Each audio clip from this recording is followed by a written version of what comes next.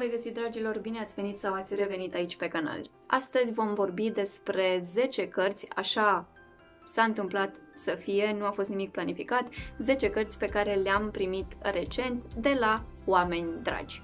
Și am să încep cu șapte cărți, șapte cărți pe care mi le-a trimis Cosmisian. N-am să mai insist asupra persoanei respective pentru că cred că deja o știți de aici, de pe canal. Am mai vorbit despre câteva dintre cărțile sale și Cosmisian s-a gândit să-mi trimită noul său volum, noua apariție, dar și alte câteva bonusuri, să le zic așa. Așa că am să încep cu cartea semnată de Cosmisian, o apariție recentă, așa cum vă spuneam, care are o copertă minunată. Uh, nu știu despre ce e vorba în carte, nici nu am vrut să aflu și am zis că mă voi lăsa surprins în momentul în care voi citi cartea. Uh, asta pentru că, dacă m-ați mai urmărit aici când am vorbit despre cărțile sale, probabil ați văzut că mm, și celelalte volume pe care eu le-am citit au sub 200 de pagini. Ei bine, așa e și în cazul uh, lui Mariette, muza și inspirația lui Jules Verne. Așa arată coperta. Vă arăt imediat și pe spate. Uh, Vă voi vorbi despre această carte pe canal cu siguranță și cred eu se potrivește tare tare bine în categoria noastră din cadrul maratonului cărți mai puțin cunoscute. Fiind și o apariție nouă, eu sunt convinsă că vă va stârni și vouă curiozitatea, așa că cel mai probabil luna viitoare o voi include în această categorie a cărților mai puțin cunoscute din maratonul nostru. Și dacă v-am vorbit despre Cosmisian și despre noua lui carte, uh, prefața acestei cărți este semnată de Petruța Petre. Uh, așa că, așa s-a întâmplat, Cosmisian s-a decis să-mi trimită o carte semnată de această Petruța Petre, o carte pentru copii de această dată, deși din ce am văzut pe Goodreads, dacă nu mă înșel, autoarea a semnat și câteva volume de poezie. Uh, și mi-a trimis Cosmisian și Tati se joacă, este o carte combinată și poveste și carte de colorat. Imediat vă arăt și pe interior cam cum uh, se prezintă. Bineînțeles, scrisul este mare cu tot soiul de uh, personaje. Și vă voi arăta spre final unde cred că, dacă mă amintesc bine, sunt câteva pagini doar de colorat. Și aici e Petruța Petre pe ultima pagină.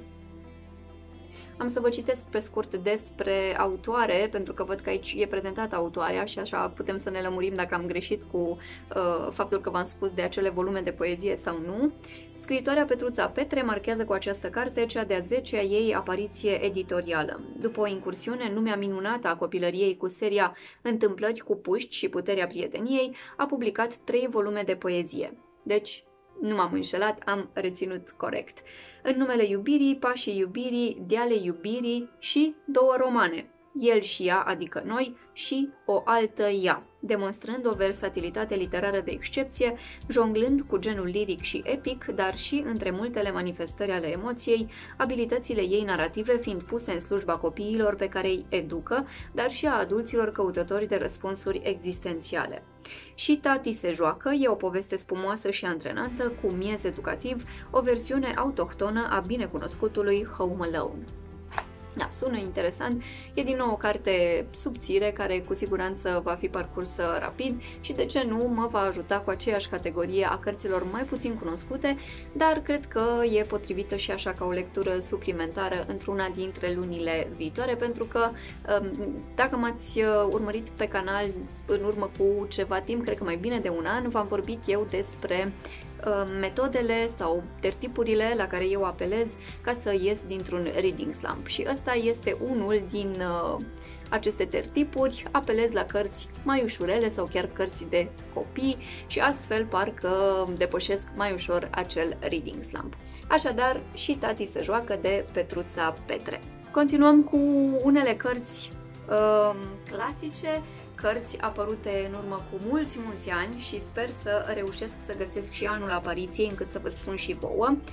Aceasta este apărută, este tradusă la noi în 1942, dar aș vrea să văd și când a apărut, dacă reușesc. Cred, sper să nu vă mint, cred că în 1942 e apărută la noi, dar din păcate nu găsesc anul în care a fost ea Uh, publicată în uh, premieră. Sau totuși să fie 1942 anul apariției. Poate mă lămuriți voi pentru că vă este cu siguranță cunoscut acest autor și poate ați citit ceva de la el și mă puteți lămuri și pe mine. Am aici așadar de la Cosmisian uh, Luigi Pirandello, O lume de hârtie. Din nou o carte mică, o carte subțire, are sub 200 de pagini și ea, plus că e formatul acesta mic, cu acel scris pe care sigur îl cunoașteți. Cred că se va parcurge rapid, dar uh, lămuriți-mă voi dacă puteți cu anul apariției, pentru că aș fi curioasă. V-am mai vorbit eu la un moment dat că intenționez să fac un clip cu o carte veche pe care am uh, citit-o. N-am ajuns încă acolo, dar dacă am primit aceste cărți, poate că voi reuși să descoper o carte și mai veche decât ce plănuiam eu să vă prezint. Așadar, o altă carte primită cadou, O lume de hârtie de Luigi Pirandello. Mergem acum la Emil Zola și avem aici o carte al cărui titlu n-am să-l citesc pentru că presimt că aș uh, pronunța greșit, așa că vi-l las să vă o aici. Uh, intuiesc că este franceză și eu nu știu franceză, așa că prefer să evit uh, astfel de cuvinte. Uh, am văzut în schimb că această carte este pe Goodreads și este, are o notă destul de bună. Are 3,73 pe Goodreads, ceea ce zic eu pentru o carte clasică pe care nu oricine o gustă în zilele noastre. După cum știți, nici eu nu citesc clasici, dar cred că așa voi fi împinsă de la spate și voi parcurge aceste cărți. Cărțile clasice tind să primească note mai mici, cel puțin eu așa am uh, observat, pentru că, da, într-adevăr, multora dintre noi ne este mai greu să ne regăsim în poveștile scrise de mult. Și dacă am vorbit despre povești scrise de mult, să vedem și când a apărut această carte. Dacă e adevărat ce zice Goodreads, atunci această carte a apărut în 1867, ceea ce ar plasa-o cu siguranță undeva mai de mult decât cartea pe care intenționam eu să o citesc și să vă prezint, dar haideți să mă uit și în interior, dacă nu cumva scrie anul apariției. Uh, ediția de față e din 1961, dar atunci merg pe mâna celor de la Goodreads și voi spune că această carte a apărut în 1867. Uh, despre ce e vorba? Să văd dacă reușesc să vă citesc și câteva cuvinte.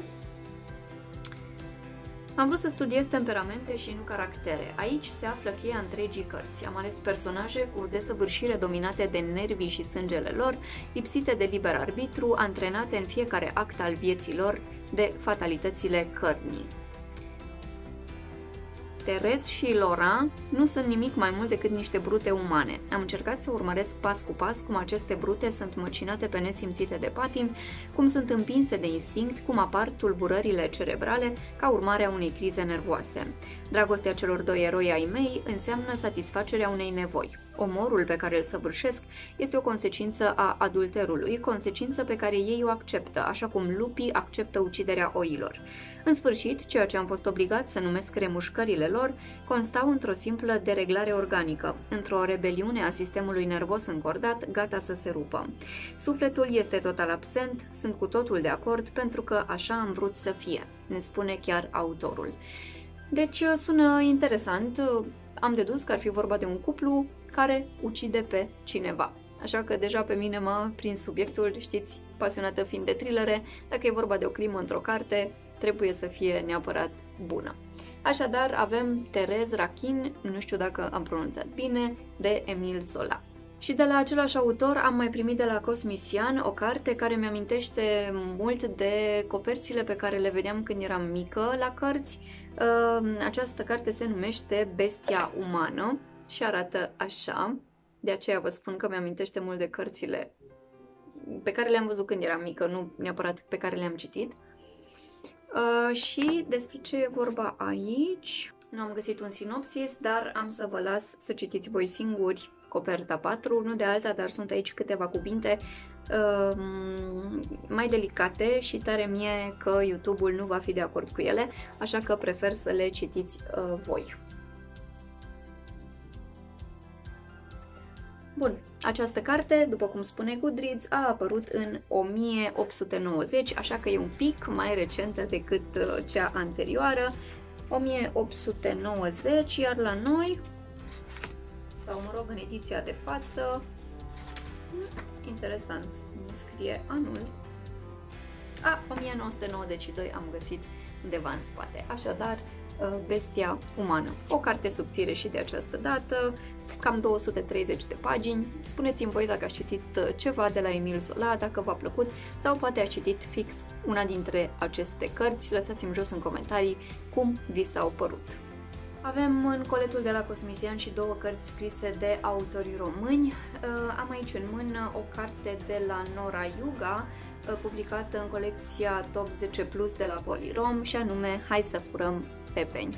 Uh, un titlu care mm, recunosc mi-a captat atenția așa din prima când am deschis coletul și am văzut cartea asta, dar să știți din start, dacă nu cumva ați citit-o, că e o carte destul de dificilă să-i spun și imediat ce vă voi citi de pe coperta 4 o să înțelegeți de ce zic asta. Un dute vino captivant între dezbaterea din jurul unei fetițe de 11 ani, însărcinată în luna a șasea, și poveștile autobiografice.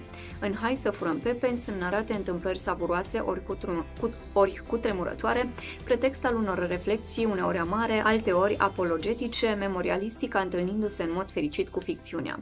Fluxul conștiinței, deși prezent, nu înlocuiește intriga, romanul nefiind unul intelectualizant, ci unul în care filonul de autentic prozator al Norei Yuga transpare fără străduință.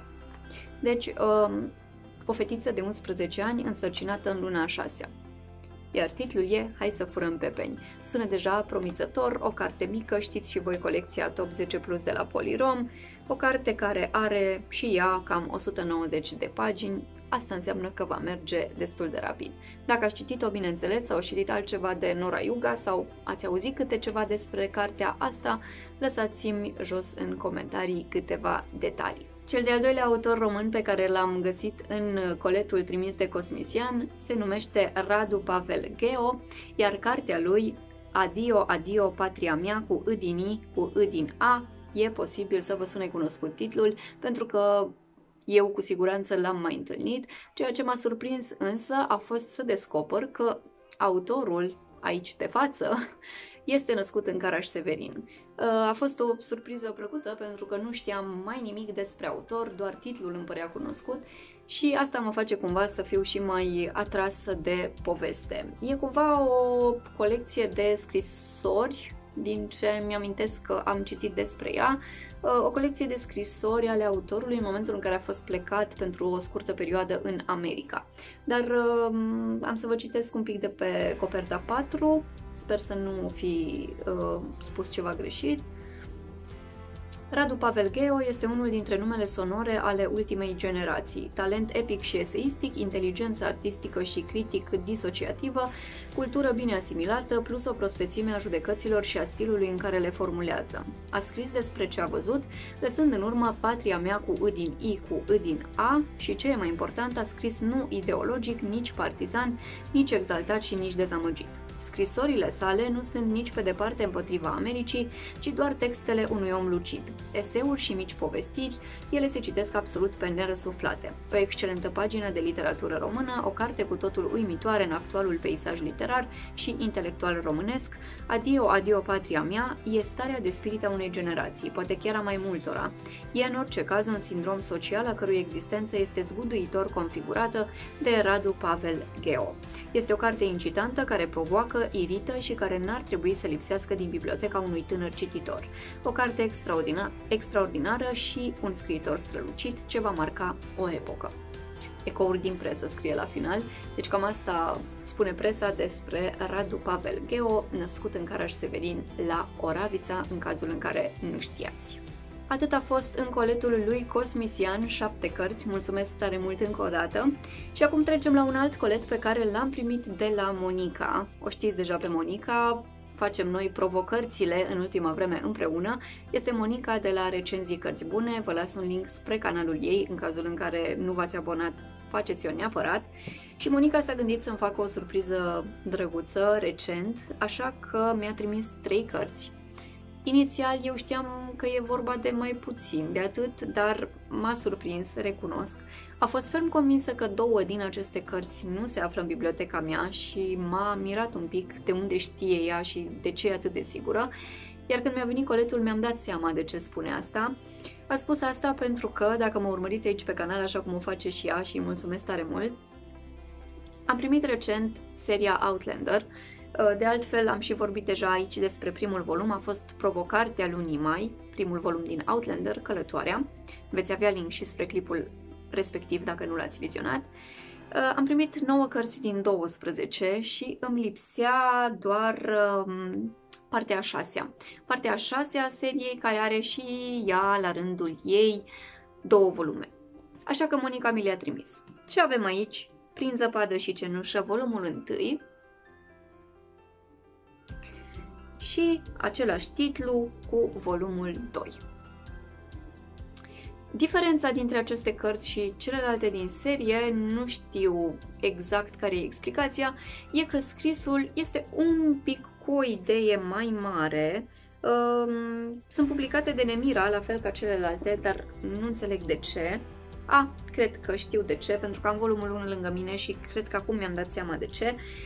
Uh, aici apare doar Nemira și e celebrul scris de la Nemira, și imediat vă arăt volumul întâi pe care l-am luat la, lângă mine pentru că voiam să vă arăt uh, treaba asta cu scrisul. Dacă vedeți voi aici e colecția Armada, uh, colecție în care Outlander a apărut cu acest scris. Vă dați seama că nu mă deranjează cu nimic treaba asta, mă bucur tare mult că acum am seria completă. Uh, mi-a plăcut destul de mult, probabil știți deja volumul întâi, așa că sper să ajung cât de curând și la partea a șasea a seriei nu va fi o muncă ușoară, pentru că fiecare volum, poate știți deja asta, are undeva la 800 de pagini. De curiozitate mă uit, da, 790 și ceva are și volumul acesta. Așadar, nu e lucru ușor, dar măcar acum e seria completă și dacă sunteți la fel ca mine, atunci știți cum e când parcă îți stă pe creier ideea că ai o serie care nu e completă. Chit că poate nu vei ajunge niciodată la ea, parcă, nu știu, poate știți când eram mici și colecționam acții bilde și aveam acele albume în care trebuia să le lipim, pur și simplu nu câștigai nimic, dar dacă nu le aveai pe toate, parcă nu puteai să dormi liniștit, cam așa e și cu seriile în zilele noastre. Și pentru că nu se putea altfel, cea de-a treia carte pe care mi-a trimis-o Monica și la care a avut un pic de emoții, pentru că nu știa sigur dacă o am sau nu, m-a întrebat așa cumva pe ocolite pe ultima sută de metri, este un thriller, știți că și Monica îi plac thrillerele, așa că nu se putea să lipsească o astfel de carte din colet. E vorba de o carte pe care întâmplător nu aveam în bibliotecă, nu am citit-o și nici nu am prea auzit mare lucru despre ea. Uh, o familie aproape normală de Matthias Edvardsson. Uh, intuiesc că ar fi un scriitor suedez Uh, știți că nordicii scriu în general thrillere excelente și dacă această carte i-a plăcut și Monica e tare mult, sunt convinsă că e ceea ce trebuie. M-am uitat de curiozitate pe Goodreads, am văzut acolo că asta este o primă carte dintr-o serie de trei. Nu știu dacă celelalte două au apărut deja la noi sau nu, aceasta văd că e publicată de cei de la 3. Uh, uh, nu știu încă anul în care a apărut pentru că nu am scos-o din folie, uh, dar pe Goodreads scrie că a fost publicată pentru prima dată în 2018, așa că tind să cred că și la noi a apărut undeva probabil anul trecut. Despre ce e vorba aici, dacă nu ați citit-o și sunteți pasionați de thrillere, în această poveste complicată despre dragoste și crimă, un eveniment înfiorător îi face pe membrii unei familii aproape normale să pună la îndoială tot ceea ce credeau că știu despre viața lor și unul despre celălalt. Stella Sandel, o adolescentă de 19 ani, este acuzată că a ucis cu brutalitate un bărbat. Fata provine dintr-o familie respectabilă, ce motive ar fi avut să cunoască un om de afaceri dubios, dar rămite să-l omoare. Tatăl Stelei, preot și mama ei avocat, specializat în drept penal, descoperă că standardele morale le sunt puse la încercare în timp ce își apără fica, străduindu-se să înțeleagă de ce poliția o suspectează. Construit pe trei voci narrative, romanul lui Matthias Edvardson aduce în discuție subiecte dificile.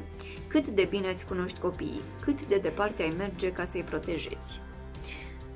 Sună foarte bine și sunt convinsă că va avea un final neașteptat pentru că altfel nu-i plăcea Monica atât de mult. Uh, sunt tare curioasă să o descoper și eu. Nu am citit nimic de autor, v-am spus, nu am o idee prea bine conturată nici despre poveste, dar uh, sună, sună tare interesant ce scrie acolo pe spate. Și cam asta a fost pentru astăzi. Mulțumesc, îți mulțumesc și ție, Monica, pentru cadou. Cred că ți-am spus deja de multe ori că te apreciez și îți mulțumesc pentru gest. Nu trebuia, dar știu că e o plăcere așa să, să oferi cărți, la fel și să le primești, evident. Asta a fost, în schimb, pentru voi astăzi 10 cărți primite cadou recent de la oameni dragi. Știți deja că și Adina mi-a mai trimis cărți și Daria mi-a mai trimis cărți, vi le-am prezentat pentru că mi se pare că măcar atât pot face și eu dacă nu trimit și eu la rândul meu cărți, bineînțeles. Cam asta a fost pentru astăzi, 10 cărți noi, spuneți-mi ce ați citit voi de aici, ce v-a plăcut, ce nu v-a plăcut, ce sfaturi aveți, cu ce ar trebui să încep, ce sună tentant, poate, cărți pe care și voi le-ați descoperit aici în acest clip. Ne întâlnim jos în comentarii și ne vom revedea săptămâna viitoare, bineînțeles, sâmbătă, când probabil vom discuta despre cărțile pe care le-am citit noi în luna mai. Pentru că, da, deja weekendul viitor vom fi în luna iunie. O să vă mai prezint la un moment dat câteva cărți, cărți pe care mi-am dat seama că le-am cumpărat în urmă cu ceva timp și nu vi le-am arătat aici pe canal, dar am zis să nu le amestec cu acestea primite cadou, așa că acela va fi un alt clip cândva în viitor. Atât a fost pentru astăzi, vă mulțumesc că ați rămas cu mine până la final, ne revedem sâmbătă viitoare!